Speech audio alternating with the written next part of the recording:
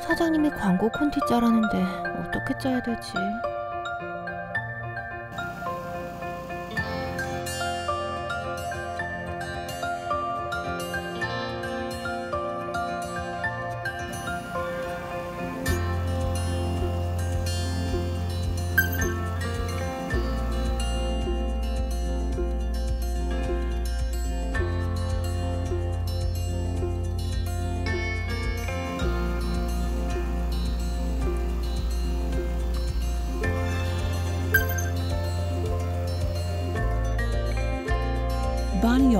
Why?